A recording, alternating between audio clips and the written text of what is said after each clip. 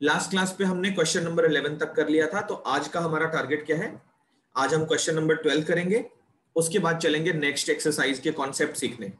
तो next exercise के जो कॉन्सेप्ट होंगे वो मिड पॉइंट थ्योरम और उसका कन्वर्स तो ये दो थ्योरम हम आज प्रैक्टिस करेंगे। अगली क्लास पे 8.2 खत्म करके हमारा क्वाड्रिलैटरल्स निपट जाएगा।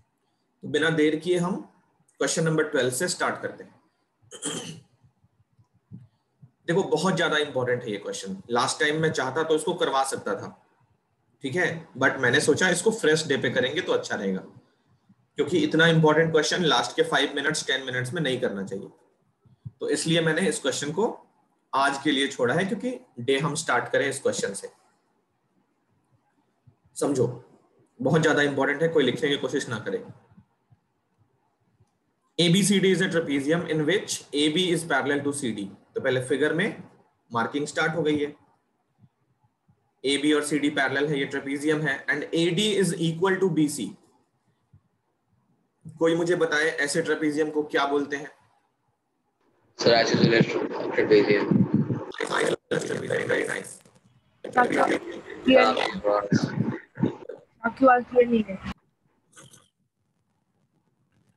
Trapezium in which non-parallel sides are equal आपकी आवाज़ फिर से अजीब सी हो गई। ये सर क्लियर नहीं है तो आइसोसेलस ट्रेपीजियम समझ गए? ऐसा ट्रेपीजियम जिसमें एक पेयर पैरेलल हो और दूसरा पेयर इक्वल हो। आइसोसेलस ट्रेपीजियम का मतलब क्या होता है? A quadrilateral in which one pair of opposite side parallel है। एंड आइसोसेलस ट्रेपीजियम इसमें नॉन पैरेलल साइड्स इक्वल है। तो ये हमारा आइसोसेलस ट्रेपीजियम है। तो ये सारी प्रॉपर्टीज़ मैंने लिखवा रखी हैं। पैरेलल साइड्स पे जो एंगल है, वो इक्वल होते हैं। डायगोनल्स इसमें इक्वल होते हैं। तो इस बार इन तीनों प्रॉपर्टीज़ को हम प्रूव करने वाले हैं। ओके चलो, देखो। तो सबसे पहले लिखते हैं given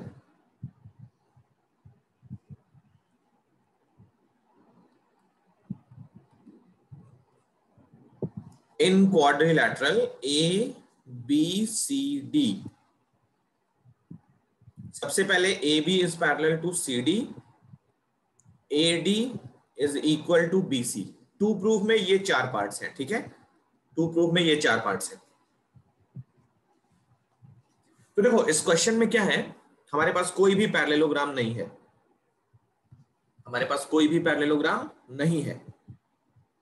तो इस क्वेश्चन में होगा कंस्ट्रक्शन क्योंकि सारी प्रॉपर्टीज़ हमने पैरेललोग्राम्स के लिए पढ़ी है। तो इस क्वेश्चन में एक पैरलोग्राम बनाने के लिए हम करेंगे कंस्ट्रक्शन देखना कैसी कंस्ट्रक्शन होगी। सी से एक लाइन ड्रॉ करेंगे पैरेलल टू डी ए इस तरीके से। सी से लाइन ड्रॉ किया पैरेलल टू डी ए और ए बी को आगे एक्सटेंड करना है। ऐसे। मान लिया, ये दोनों जो लाइंस हैं, वो पी पे मीट करती है। कंस्ट्रक्शन नोट डाउन करते हैं। Construction draw CP parallel to A B A B नहीं A D CP parallel to D A लिखें। CP parallel to D A meeting AB extended at P. CP हमने parallel draw कर लिया है किसके? DA के। ये AB के एक्सटेंडेड पार्ट को P पे मीट करता है। देखो आगे प्रूविंग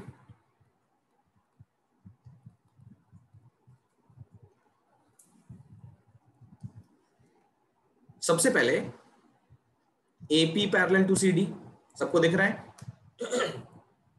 ए बी अगर पैरेलल है सीडी के तो उसका एक्सटेंडेड पार्ट भी पैरेलल होगा।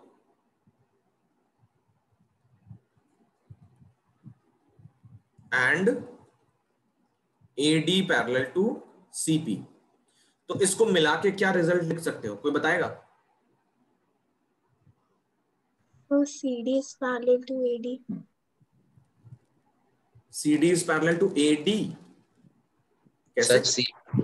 C. Sir, A, A, Sir. Sir, AP is parallel to CD. AP is parallel to CD. नहीं वो ठीक है तुम लोग जो कह रहे हो ना बिल्कुल ठीक है सर इससे AP और CD इक्वल हो जाएगी नहीं क्वाड्रिलेटरल को ऑब्ज़र्व करो A D C P quadrilateral को ऑब्ज़र्व करो। अगर मैंने ये लिख दिया तो क्या बनेगा? सर पैरेललोग्राम पैरेललोग्राम बनेगा। ये both pair of opposite sides parallel हो गई। So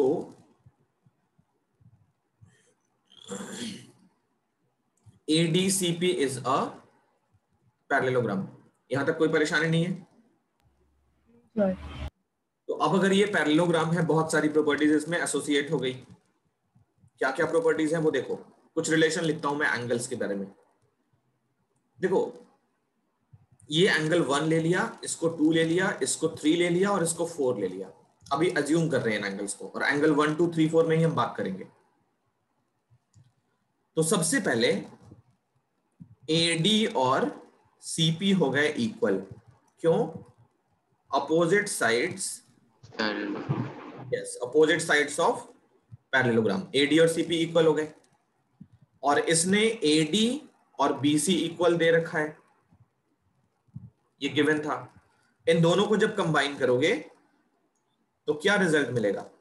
BC equal to CP तो ये बीसी और ये सीपी इक्वल भी हो गया।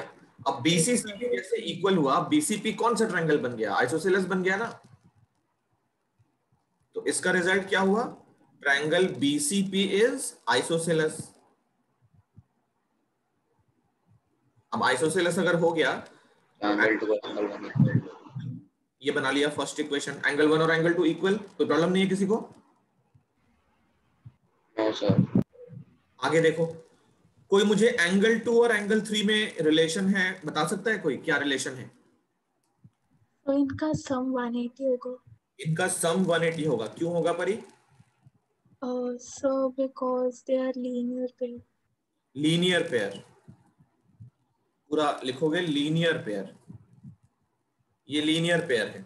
इक्वेशन नंबर टू कोई मुझे एंगल वन और एंगल फोर में रिलेशन बता सकता है? सर सर 180 180 होगा। अच्छा क्यों होगा? सर क्योंकि adjacent angle of parallelogram are supplementary very nice इसको लिखने के दो रीजन हैं। या तो को इंटीरियर एंगल लिख सकते हो। जैसे एंगल वन और एंगल फोर कैसे एंगल्स हैं? को इंटीरियर है। याद है ना co interior. Parallel line parallel lines में ट्रांसवर्सल की सेम साइड पे है। तो angle one plus angle four 180 के दो रीजंस हो सकते हैं। एक तो तुम लिखो को इंटीरियर एंगल्स या फिर लिखो एडजेसेंट एंगल्स ऑफ़ पैरेललोग्राम तो मैं लिखता हूँ को इंटीरियर एंगल्स इसको बना लिया इक्वेशन नंबर थ्री अब देखते रहना, बस रिज़ल्ट आने शुरू हो गए। इक्वेशन टू और थ्री को इक्वेट करेंगे, क्योंकि दोनों का आरएचएस क्या है? इक्वल है। तो from equation two and three देखना। एलएचएस दोनों के इक्वेट कर रहे हैं। Angle two plus angle three equal to angle one plus angle four अब इक्वेशन वन में बोल रहा है angle one angle two equal तो एंगल वन एंगल टू हमने काट लिया। इनके कटने का रीजन क्या है? Angle one equal to angle two है। Yes. तो जो बच गया वो क्या है? Angle three equal to angle four अब इसको एबीसीडी में बात कर लो। एंगल थ्री और एंगल फोर तो एंगल फोर का मतलब एंगल ए लिख सकते हो और एंगल फोर का एंगल थ्री का मतलब एंगल बी लिख सकते हो। तो ये फ़र्स्ट पार्ट प्रूव हो गया समझ में आया सबको? यस सर बहुत बढ़िया। फ़र्स्ट पार्ट हमने प्रूव कर लिया। नेक्स्ट पार्ट देखो सेकंड पार्ट अब मुझे कोई फिर से बताए angle A plus angle D कितना होना चाहिए? और angle B plus angle C कितना होना चाहिए? Angle A plus D is a 180. Very good क्यों होगा? Sum of interior opposite angles. Interior opposite angles ये क्या होते हैं? ये क्या होते हैं? को इंटीरियर एंगल्स हैं ये। को इंटीरियर एंगल्स बोल सकते हैं इनको? Yes, sir. लाइंस पैरेलल हैं और एक ही साइड में है ट्रांसवर्सल के। एंगल बी प्लस सी भी 180 Yes, सेम. इसको बना लिया इक्वेशन नंबर कितना? फोर। और इसको बना लिया इक्वेशन नंबर फाइव। इनको भी इक्वेट कर सकते हैं। तो angle A plus angle D equal to angle B plus angle C. अब इसमें से क्या कटेगा? तो ए और बी हमने प्रूव कर लिया ना। मतलब वो इक्वल है तो वो कट जाएगा इस बार। Angle C equal to angle D कटने का रीजन क्या है? Angle A equal to angle B. तो ये हो गया सेकेंड पार्ट प्रूफ यहाँ तक समझ में आई बात? Yes sir Yes, sir. अब देखो थर्ड पार्ट में ट्राइंगल एबीसी और बीएडी को कॉन्ग्रुएंट करना है? और फोर्थ पार्ट में diagonal AC equal to diagonal BD तो फोर्थ पार्ट जो है वो तो ऐसे लिख दोगे ना सीपीसीटी से। एसी और बीडी देखो करस्पॉन्डिंग साइड है थर्ड पार्ट के लिए। Yes. तो बस हमको थर्ड पार्ट करना है। फोर्थ पार्ट तो सीपीसीटी लिख देंगे। थर्ड पार्ट के लिए एबीसी और बीएडी ट्रायंगल पहले बना ले। तो एबीडी और बीएसी के लिए हमें ये मालूम चला कि डायगोनल्स ज्वाइन करने पड़ेंगे। डायगोनल्स हमने इस तरीके से ज्वाइन कर लिया। एसी और बीडी को हमने ज्वाइन कर लिया क्योंकि ट्रायंगल हमको ऐसे ही मिलेगा। बिना ज्वाइन किए तो मिलेगा नहीं।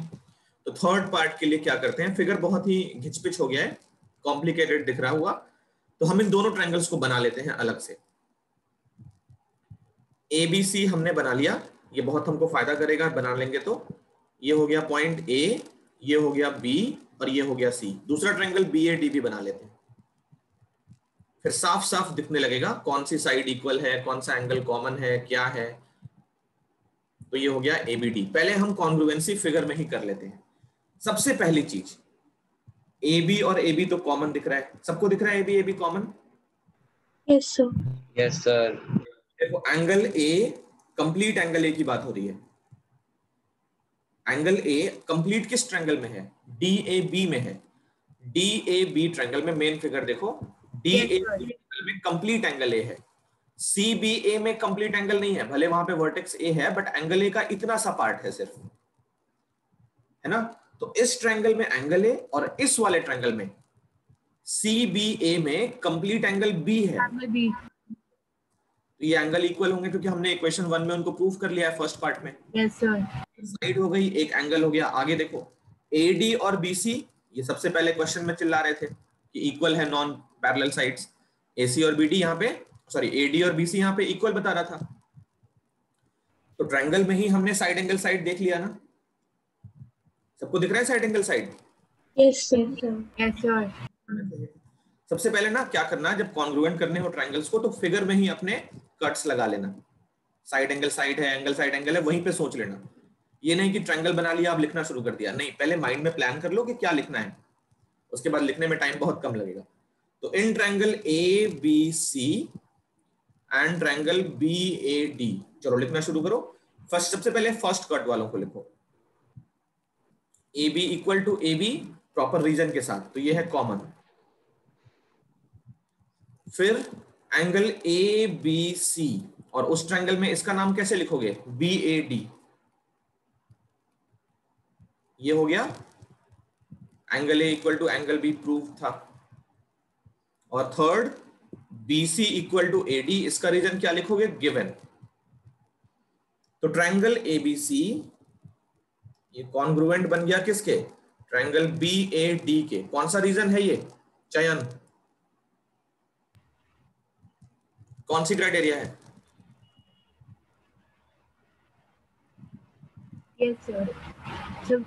हो।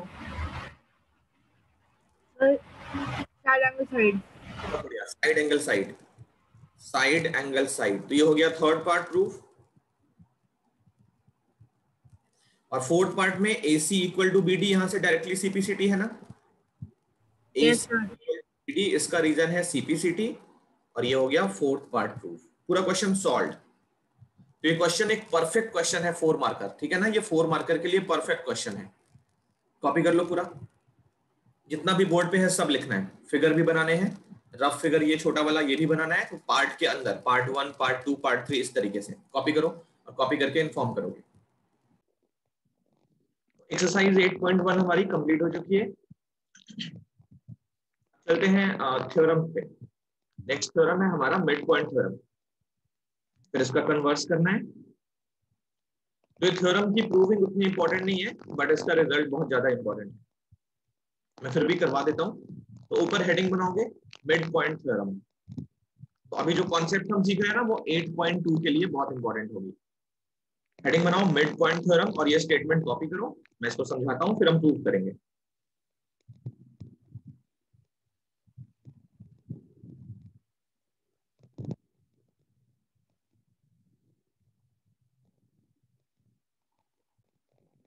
देखो, ये थ्योरम क्या है?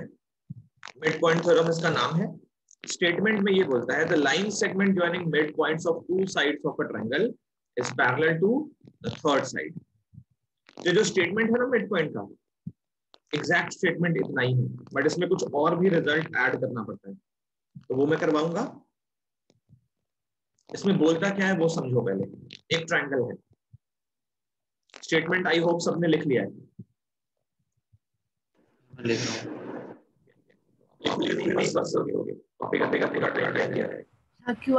है तो देखो ये ट्रायंगल हमारा एबीसी है the line segment joining mid points of two sides of a triangle तो बी और ए सी हमारे दो साइड हो जाते हैं अब इन साइड्स का मिड पॉइंट है मान लो डी और ई e. ये डी और ई e इन साइड्स के मिड पॉइंट्स हो गए तो अगर हम डीई e को ज्वाइन करें, अगर हम डीई को ज्वाइन करें, ये जो लाइन सेगमेंट मिलती है ना DE is parallel to the third side तो इसका पूरा स्टेटमेंट क्या होता है? पैरेलल टू थर्ड साइड ये फ़र्स्ट पार्ट इज़ के बाद ये first part parallel to third side and second part and it is half of the third side. ठीक है? तो इसमें गिवन क्या क्या हो गया वो समझो।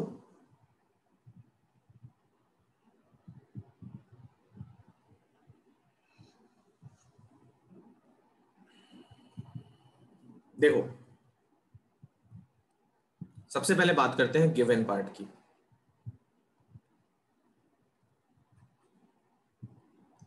In triangle ABC, D and E are midpoints. So D अगर midpoint है तो AD और BD equal, E अगर midpoint है तो AE और EC equal. तो इसमें दिया क्या है AD equal to BD and AE equal to EC. ये दो चीज़ें इक्वल गिवन है टू प्रूव क्या प्रूव करना है तो दो चीज़ें प्रूव करनी है फ़र्स्ट पार्ट प्रूव करना है कि लाइन सेगमेंट जो मिड पॉइंट्स को ज्वाइन करती है that is DE it will be parallel to the third side third side कौन सी होगी? बीसी क्योंकि दो साइड्स हमने ए बी और ए सी यूज़ कर ली है, उनका मिड पॉइंट्स ले लिया है। तो लाइन सेगमेंट जब ज्वाइन करेंगे तो ये जो लाइन सेगमेंट आ रही है ना, ये थर्ड साइड के पैरेलल होगी। पहला पार्ट ये हो गया। और इस लाइन सेगमेंट की जो लेंथ होगी that will be half of third side तो दो चीज़ें होती हैं मिड पॉइंट थ्योरम में हम दोनों को यूज़ कर सकते हैं। जब भी ये सिचुएशन मिलता हो तो क्वेश्चन में हम क्या क्या यूज़ कर सकते हैं? डी पैरेलल टू बीसी और डी की लेंथ अगर कहीं पे चाहिए हो तो हाफ़ ऑफ़ बीसी यूज़ कर सकते हैं। इसमें होगा कंस्ट्रक्शन क्या रीजन है कंस्ट्रक्शन का कि फिर से हमारे पास कोई भी पैरेललोग्राम नहीं है। सिर्फ़ एक साइड ये वाली पैरेलल है तो इसमें होगा कंस्ट्रक्शन क्योंकि कोई भी हमारे पास पैरेललोग्राम नहीं है। और जितनी भी प्रॉपर्टीज़ हमने पढ़ी है, वो सारी पैरेललोग्राम्स के लिए पढ़ी है। तो अभी हम बिल्कुल एक तरह से हमारे पास कोई रास्ता नहीं है, हम क्या करें? पैरेलोग्राम दिखेगा तो प्रॉपर्टीज़ लगाएँगे। तो पैरेलोग्राम बनाने के लिए हम करते हैं कंस्ट्रक्शन देखो कैसे करते हैं। सी से एक लाइन ड्रॉ करेंगे। सी से एक लाइन ड्रॉ करेंगे। बीडी के पैरेलल सी से लाइन ड्रॉ किया बीडी के पैरेलल और डीई e को आगे एक्सटेंड करके, मान लिया हमने पी पे मीट कर रहे हैं। तो ये पी पॉइंट पे मीट कर लिया और ये हमने पैरेलल बना दिया किसके? डीबी के या बीडी के। लिख लेते हैं construction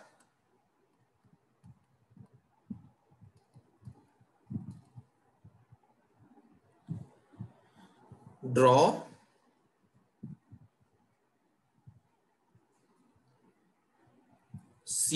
parallel to BD meeting DE extended at P. तो ये हो गया हमारा कंस्ट्रक्शन टू प्रूफ ध्यान रखो, ये दो चीज़ें हमको प्रूफ करनी है। पहली बात प्रूफ करना है डीई बीसी के पैरेलल है और दूसरा प्रूफ करना है डीई बीसी का हाफ़ है। यहीं से स्टार्ट कर लेते हैं प्रूविंग हर एक चीज़ समझ में आएगी, ठीक है? बस मेरी बात को गौर से सुनना है। कहाँ पे क्या रिज़ल्ट आया, उसको माइंड में बिठाना है। लिखने वाला काम बिल्कुल भी नहीं करना है। जो लिखेगा उसको समझ नहीं आएगा। देखो यहाँ पे। ये ट्रायंगल वन देख रहे हो ना? और ये ट्रायंगल टू देख रहे हो। इन दोनों ट्रायंगल्स को हमें करना है कॉन्ग्रुएंट माइंड में सोचो कैसे करेंगे?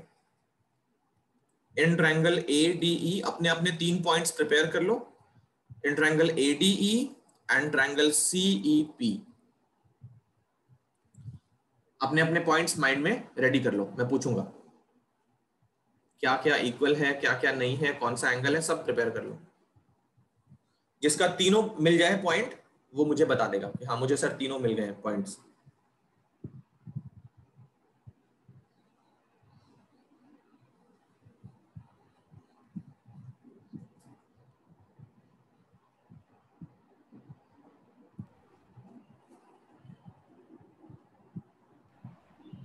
एंगल एंगल ये होगा। नहीं अपने पॉइंट्स अगर मिल गए तो मुझे बस इन्फॉर्म कर दो कि सर मेरा तीनों पॉइंट्स रेडी है। सर आपकी आवाज़ फिर से खराब हो गई। यस सर एनीवेज तो जिसको तीनों पॉइंट्स मिल जाते हैं वो इन्फॉर्म करे। हाँ मुझे मिल गए। गुड वेरी गुड और निशित चयन आकाश कृतिका परी राघव। सर मुझे दो मिल रहे हैं। तीसरा ढूंढो तीसरा ढूंढो निशित बहुत करीब हो।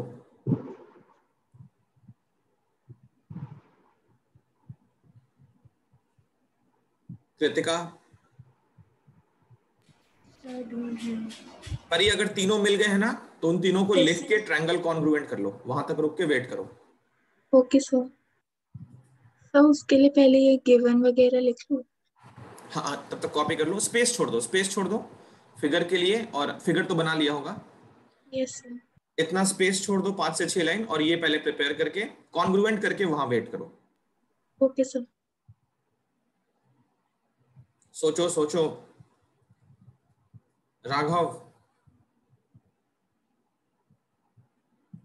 सार्थक। बहुत सिंपल है। सर मेरे को मिल गया। मिल गया पक्का? यस सर ठीक है तो ट्रायंगल कॉन्ग्रुएंट करके वहाँ पे वेट करो मेरा।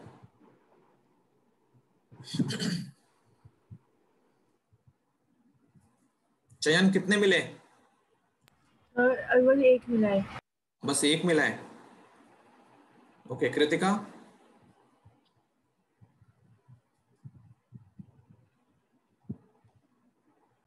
है ना? ये ए बी और सी पी पैरेलल है तो डीपी ट्रांसवर्सल है।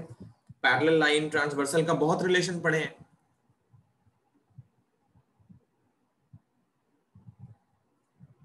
ए सी भी ट्रांसवर्सल होगी ए बी और सी पी के लिए। डीपी तो होगी ही एसी भी ट्रांसवर्सल है। लाइंस एंड एंगल में हमने इन सब क्वेश्चन में तो बहुत टाइम दिया है ना इन कॉन्सेप्ट्स पे। Corresponding angle alternate angle vertically opposite angles बहुत सारे ऑप्शंस हैं। एक साइड बस ढूंढनी थी। तो साइड तो ए और सी मिलेगी आप दो एंगल्स ढूंढ लो। सर दो एंगल सर एक A is equals to Nishit no no no no no copy पे लिखो बस। बाकियों को सोचने दो।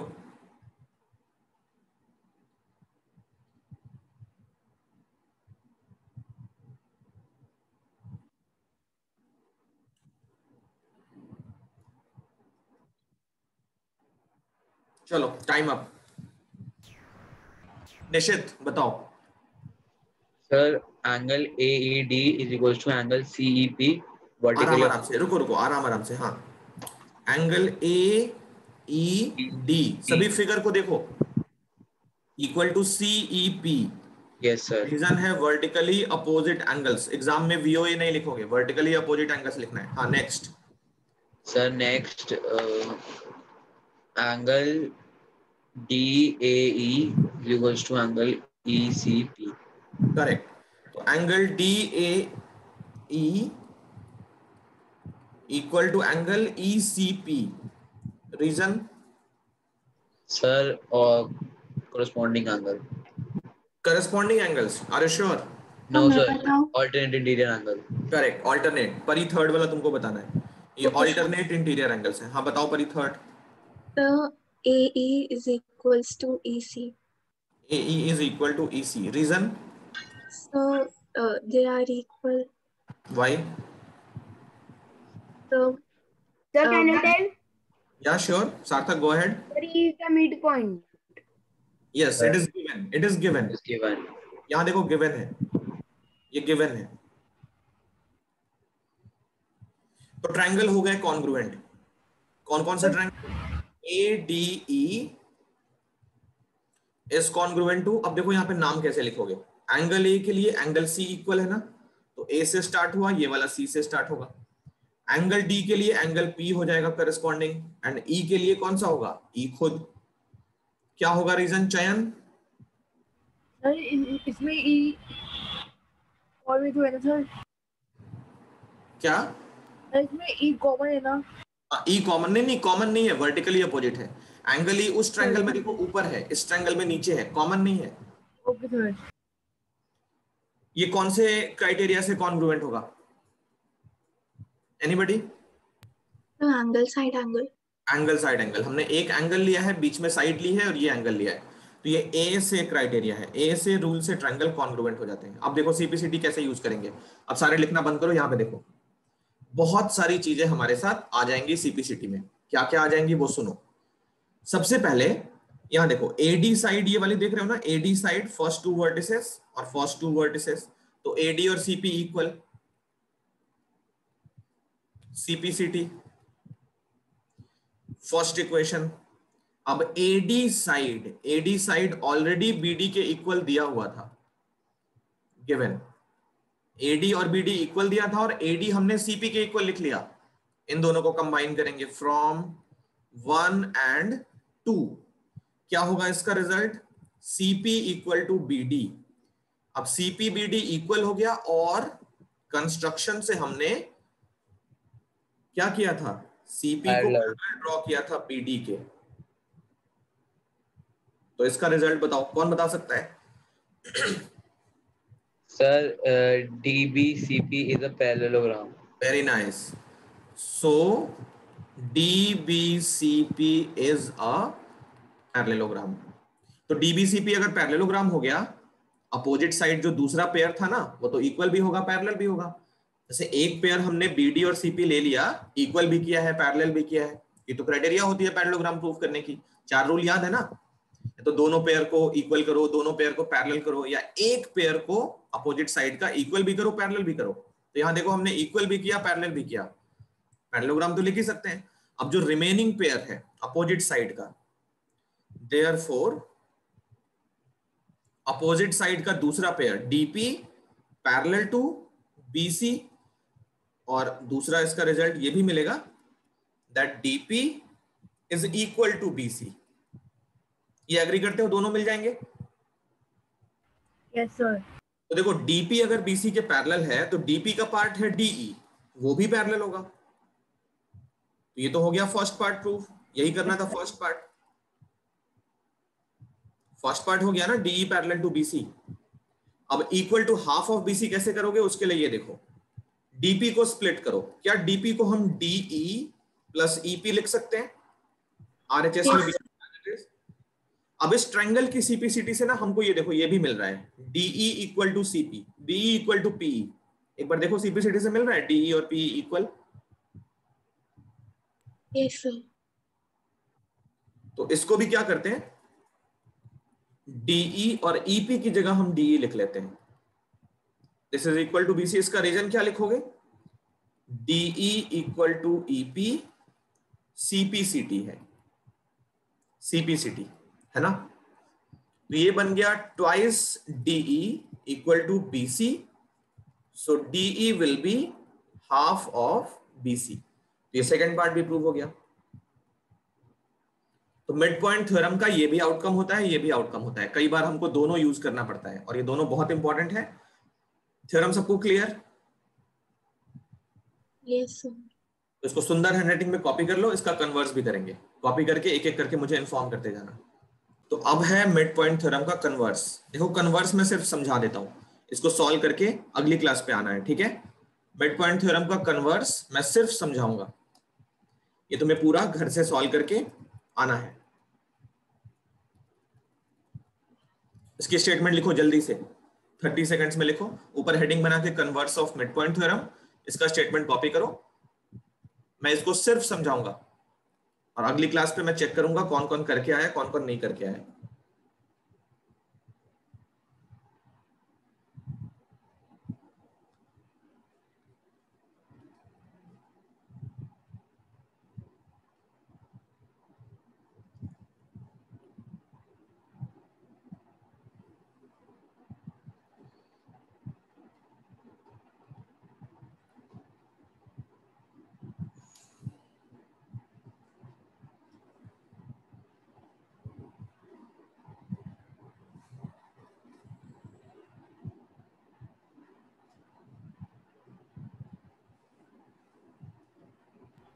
Done okay done. the line drawn through midpoint of one side one side. Midpoint theorem में क्या था? दोनों साइड के मिड पॉइंट दिए होते थे। इसमें एक साइड का मिड पॉइंट है the line drawn through mid point of one side तो एक साइड ए बी मान लिया उसका मिड पॉइंट डी मान लिया। यहाँ से एक लाइन ड्रॉ करनी है। Line drawn through point of one side of a triangle and parallel to another side तो यहाँ से जो लाइन ड्रॉ करोगे ना डी से डी क्या है? ए बी का मिड पॉइंट तो डी से जो लाइन ड्रॉ करोगे, वो line parallel to third side होनी चाहिए। पैरेलल टू अनदर साइड बोला है। तो मान लिया डी से लाइन ड्रॉ किया। इस तरीके से parallel to this side B C तो ये वाली जो लाइन थर्ड साइड को इंटरसेक्ट करेगी कहीं ना कहीं। पहली साइड तो ए बी हो गई। वन साइड का मतलब मान लिया A B, parallel to another side another side का मतलब मान लिया बी सी तो फिर थर्ड साइड कौन सी बची? थर्ड साइड बची ए सी तो थर्ड साइड बाइसेक्ट होगी, जहाँ पे ये लाइन उस साइड को कट करती है। तो पॉइंट ई e जो है, ये हमको मिड पॉइंट प्रूव करना है। अब देखो क्या क्या दिया है। तो एक साइड का मिड पॉइंट दिया है। Given in triangle A B C D is mid point of A B तो उसका मैथमेटिकल मीनिंग क्या हुआ? A D equal to B D D is mid point of A B तो English हो गया। Mathematical meaning क्या हुआ? A D equal to B D और भी दिया है।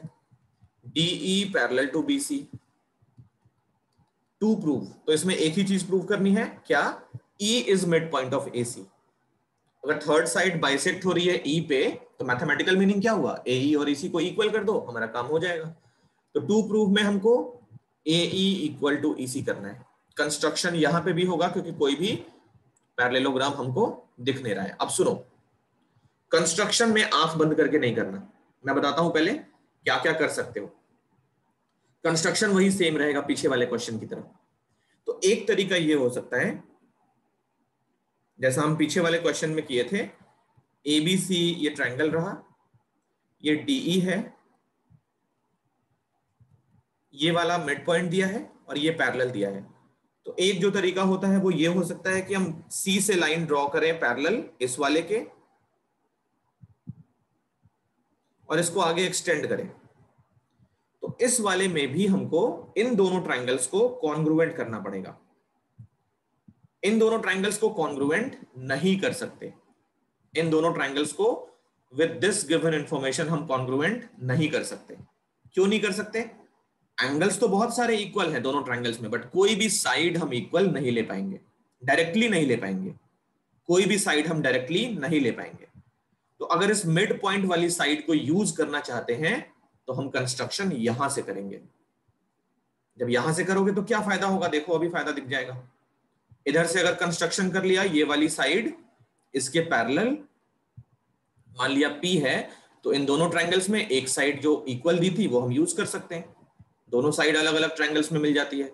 तो एक साइड यूज़ कर लेंगे और बिना किसी परेशानी के दोनों ट्रायंगल्स को बहुत इजीली हम कॉन्ग्रुएंट कर सकते हैं। अगर इस तरीके से करोगे तो हो जाएगा बट डायरेक्टली इन दोनों में कोई भी साइड कॉमन नहीं है। अगर तुमने ऐसे कर लिया तो इस साइड को इसके इक्वल करोगे, फिर नीचे वाले को पैरेलोग्राम प्रूफ करने के बाद ये अपोजिट साइड इक्वल करोगे, फिर जाके दोनों साइड से इक्वल मिलेगी। तो बहुत लंबा फैल जाएगा। ये ना, ये मत करना, इस तरीके से मत करना। क्या करना? जो मिड पॉइंट वाली साइड दी है ना उसको यूज़ करने के लिए कंस्ट्रक्शन इधर से कर लेना। तो कंस्ट्रक्शन देखो मैं नोट डाउन करवा देता हूँ। डिफरेंस क्लियर है दोनों में? इधर से क्यों नहीं करेंगे? यस सर हाँ कंस्ट्रक्शन में देखो। इस बार हम बीपी ड्रॉ करेंगे parallel to CE meeting ED extended देखो डीई एक्सटेंडेड मतलब डीई को एक्सटेंड करेंगे इधर से। और ईडी का मतलब इधर से डी की तरफ़ से एक्सटेंड होगा। तो अभी हमने ईडी को एक्सटेंड किया है। Meeting ED extended at P ये हमने कर लिया कंस्ट्रक्शन अब इन दोनों ट्रायंगल्स को जो मैंने ऐसे टिक लगाया ना, दोनों ट्रायंगल्स इनको कॉन्ग्रुएंट करोगे। एक साइड तो इक्वल मिली गई है, अब दो एंगल्स तुम्हें ढूँढने हैं। बहुत सारे एंगल्स इक्वल मिल जाएँगे। तो उस तरीके से ये हिंट है और इसको प्रूव करके अगली क्लास पे आना है। आगे मैं कुछ भी बताऊँगा तो पूरा थ्योरम ही सॉल्व हो जाएगा। तो मैं बताना नहीं चाहता हूँ। अगली क्लास पे इसको सॉल्व करके आना है। तो ये तुम्हें कंप्लीट करना है एज एन असाइनमेंट ठीक है? अगली क्लास पे मिलते हैं तो एक्सरसाइज 8.2 हम कंप्लीट करने का टारगेट रखेंगे। अगली क्लास पे 8.2 में सिक्स क्वेश्चन है सिक्स या सेवन है। तो ये हम अगली क्लास पे बहुत इजीली कर लेंगे। दोनों थ्योरम्स को कंप्लीट करके आना अगली क्लास पे। पहला थ्योरम प्रूव कैसे हुआ है, क्या रिज़ल्ट है, वो सब सीख के आना और इस थ्योरम को प्रूव करना, फिर इसका रिज़ल्ट अच्छे से यूज़ करके सीख के आना तो हम मिलते हैं नेक्स्ट क्लास पे। नेक्स्ट क्लास लास्ट होगी क्वारिलेटरल की उसके बाद हम कोई नया चैप्टर स्टार्ट करेंगे। ओके ओके सर चलो टेक केयर बाय बाय